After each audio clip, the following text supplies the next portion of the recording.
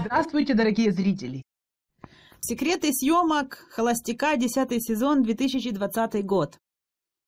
Во-первых, холостяка искали очень давно и хотели, чтобы именно холостяком был пилот.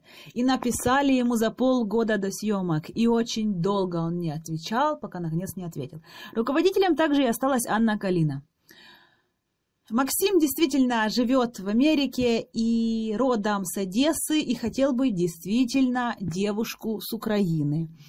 Он согласился участвовать в проекте, но о съемках он вообще ничего не знал, не знал правил съемок, он не любит давать интервью.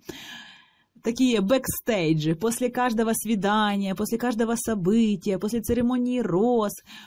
Э, участницы проекта и сам холостяк должны давать интервью, свои впечатления, свои эмоции о том, как все прошло. Максиму это не нравилось, он не мог выдать эти эмоции, иногда не мог вспомнить.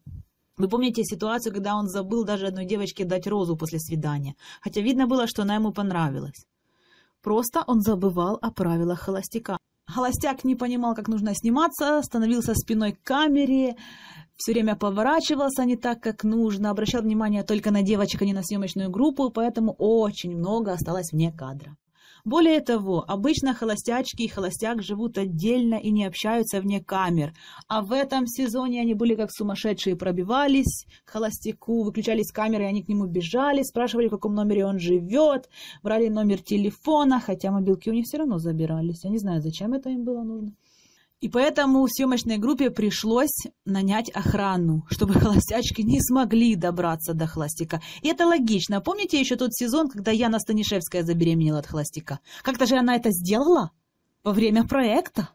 Пускай вне камер, но как-то же сделали они это. Жду от вас пальчики вверх и до новых встреч!